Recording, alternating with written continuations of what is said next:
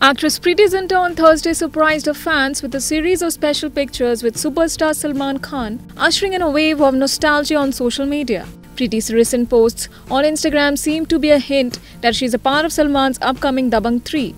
Anything can happen on Halloween. Here's to having some fun and being a little crazy. Perks of showing up on the Dabangg 3 shoot. Preity captioned one of the images in which she's seen dressed in a blue police uniform with Salman Khan posing in his Chulbul Pandey avatar.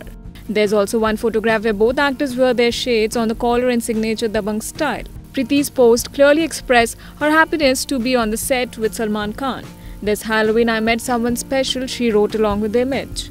The posts have divided fans in their speculation while some are hoping the actress is a part of the new Dabangg film, others feel she was just a casual guest on the set and nothing more. Meanwhile, Dabangg 3 is scheduled to release on December 20. IANS report.